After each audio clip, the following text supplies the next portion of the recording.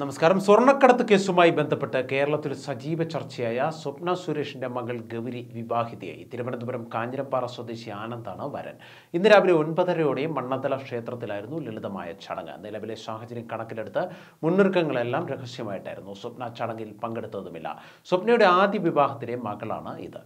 ഭർത്താവ് കൃഷ്ണകുമാറാണ് വിവാഹം നടത്തിയത്. ഏറെ നാളായുള്ള മകളുടെ പ്രണയമായിരുന്നു ഇത്. മകളുടെ ആഗ്രഹത്തിന് വഴങ്ങിയാണ് കൃഷ്ണകുമാർ വിവാഹം നടത്തിയതെന്നാണ് റിപ്പോർട്ടുകൾ. പാലക്കാട് സ്വപ്നയ്ക്കൊപ്പം ഉണ്ടായിരുന്ന മകൾ ദിവസങ്ങൾക്ക് മുൻപാണ് തിരുവനന്തപുരത്ത് കൃഷ്ണകുമാറിന്റെ അടുത്തേക്ക് എത്തുന്നത്. സ്വർണക്കടത്ത് കേസിനു മുൻപേ ഗൗരിയും ആനന്ദും തമ്മിൽ പ്രണയത്തിലായിരുന്നു. വിമാനത്താവളത്തിൽ സ്വർണം പിടികൂടിയതിനു ശേഷം അത് വിട്ടുകിട്ടാനുള്ള ശ്രമങ്ങൾ പരാജയപ്പെട്ടതോടെ സ്വപ്ന കുടുംബത്തിനോടൊപ്പം നാട് വിട്ടിരുന്നു. അന്ന് സ്വപ്നയ്ക്കായി കേന്ദ്ര രഹസ്യാന്വേഷണ വിഭാഗം വ്യാപകമായി തിരച്ചിൽ നടത്തിയെങ്കിലും ഫലം കണ്ടില്ല. കേരള പോലീസിന്റെ ഭാഗത്തു നിന്ന് കാര്യമായ സഹായം ലഭിക്കാതിരുന്നതിനാൽ ഏറെ ശ്രമകരമായാണ് രഹസ്യാന്വേഷണ വിഭാഗം നീക്കങ്ങൾ നടത്തിയത്. സ്വപ്നയുടെയും ഒപ്പം ഉണ്ടായിരുന്നവരുടെയും ഫോണുകൾ സ്വിച്ച് ഓഫ് ആയതോടെ ടവർ കേന്ദ്രീകരിച്ചുള്ള അന്വേഷണവും വഴിമുട്ടിയിരുന്നു.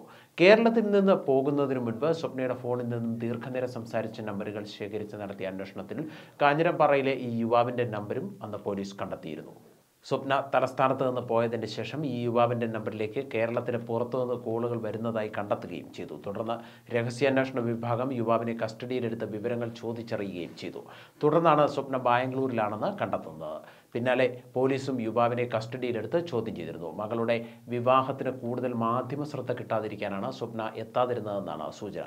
കൊച്ചിയിലാണ് സ്വപ്ന ഉള്ളതെന്നാണ് സൂചന.